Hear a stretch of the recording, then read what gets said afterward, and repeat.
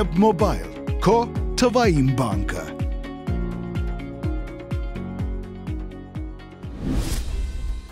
Արարատ Նյուզեյեմի եթերում դուք դիտում եք տնտեսական լուրերի դեկտեմբերի 21-ի թողարկումը։ Տաղավարում աշխատում է Աննա Չիբուխչյանը, բարի երեկո։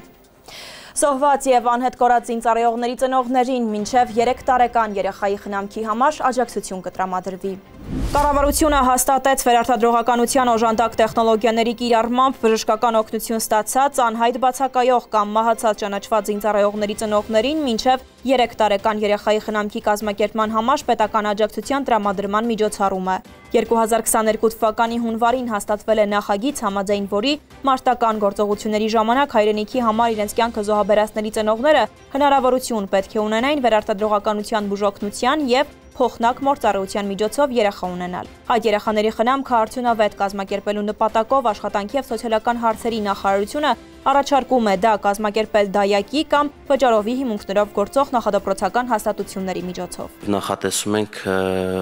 ուրեմն 104000 դրամի սահմանում տրամադրել աջակցություն, որպիսի խնամքի ծառայությունները դայակի եւ նախադպրոցական հաստատության միջոցով կազմակերպվի։ Հայաստանի Հանրապետության վարչապետ Նիկոլ Փաշինյանը հետաքրքրվեց, քանի ընտանիքում են նման երեխաներ ծնվել։ Առողջապահության նախարարի տեղակալ Լենան Անուշյանը տեղեկացրեց, որ սկսած 2021 թվականից զոհված զինծառայողների ընտանիքներում ծնվել է 54 երեխա, որից ծրագրի շահառու է 32-ը։ Մյուսները բուժման տարբեր փուլերում են, կան նաև հղի կանայք։ Մեր շահառուն, որին մենք ուզում ենք աջակցել, ի վերջո ծնված երեխան է, չէ՞ Այսինքն ինչքան ինչքան լավ պահեն այդ երեխային, այնքան մեզ համար ավելի լավ։ Ես մի քիչ էս նրբություն, եթե մենք ուզում ենք, ես ամեն ամեն անգամ տեսեք, մենք մեր քաղաքականությունները մշակելիս կարևոր բաներ բաց ենք թողում։ Մեր մեր շահառուն, որին մենք ուզում ենք աջակցենք, երեխան է։ Ամենայն հարգանքով մենք ուզում ենք, որ երեխայի համար հնարավորինս լավ պայմաններ ստեղծենք եւ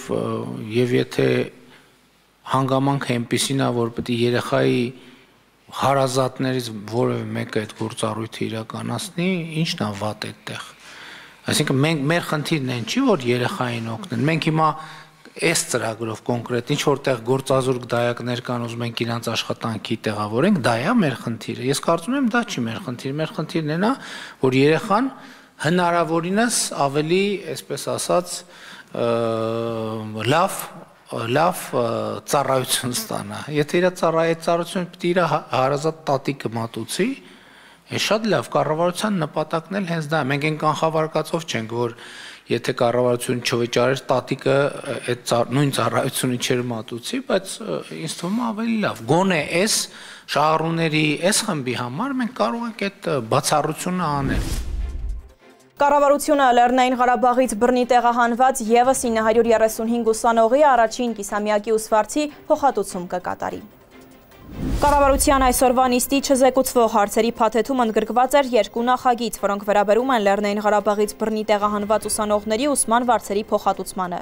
Ըստ ԿԳՄՍ նախարար Ժաննա Անդրեասյանի կա ուսանողների երկու խումբ, որոնց ուսման վարձի ֆինանսավորումը եկել էր կամ իրենց ընտանիքների կողմից, որոնք այժմ հայտնի պատճառներով զրկված են այս աջակցությունը ցուցաբերելու հնարավորությունից, կամ նրանց վճարումը կատարվել էր Լեռնային Ղարաբաղի իշխանությունների կողմից եւ այժմ նույնպես այդ ֆինանսավորման աղբյուրը հնարավոր չէ շարունակել։ Այս երկու խմբի ուսանողների համար էլ կայացվեց որոշում, որովհետեւ նրանց համար կրթության իրավունքի վերականգնման խնդիր մենք չունենք, այսինքն այս ուսանողները մեր ուսումնական հաստատությունների ուսանողներ են եղել եւ հիմա էլ շարունակում են լինել, բայց ունեինք ֆինանսական աջակցության կոնկրետ խնդիր եւ երկու նախագծերով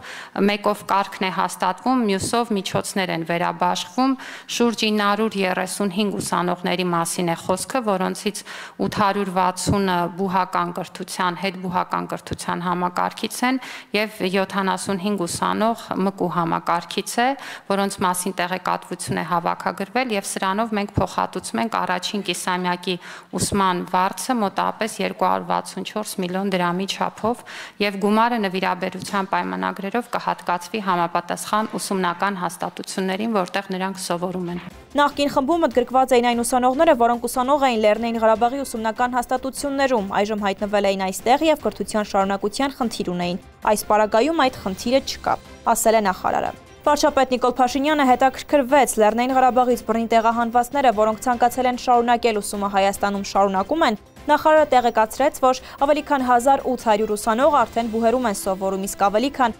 1100-ը քոլեջներում եւ ուսումնարաններում։ 2021 թվականից գիտաշխատողների աշխատավարձերը բարձրացվել են։ Գործընթացը շարունակվելու է մինչև 2026 թվականը։ Հայաստանի Հանրապետության վարչապետ Նիկոլ Փաշինյանն է հայտնել այսօր կառավարության հերթական նիստին։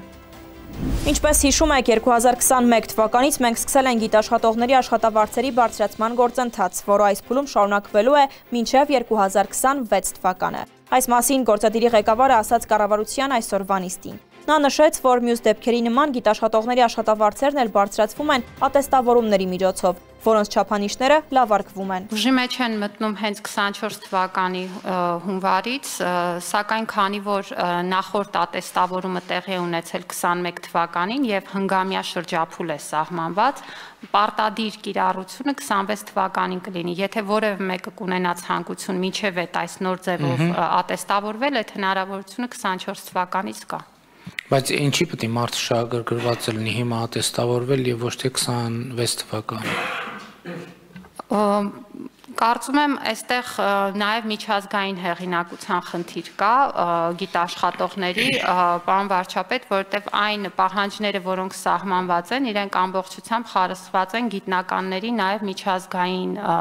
շտեմարաններում ունեցած հրապարակումների, իրենց ուսանողների հետ աշխատանքի, գիտական աշխատանքների ղեկավարման ու դրամաշնորային ծրագրերի ղեկավարման վրա եւ նրանց համար նաև լրացուցիչ խթաններ կարող են գործել մեր դրամաշնորային ծրագրերում։ Հայ Էկոնոմ բանկի կապիտալը համալրվել է 2 միլիարդ դրամով։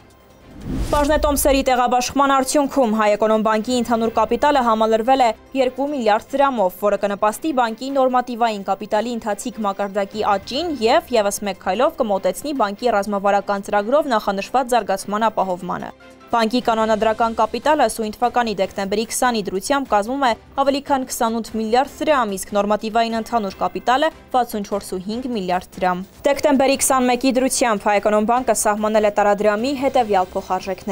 Ամերիկյան 1 դոլարը գնվում է 403, վաճառվում 409 դրամով։ 1 եվրոն գնվում է 438, վաճառվում 453 դրամով։ Ռուսական ռուբլին գնվում է 4.35, վաճառվում 4.63 դրամով։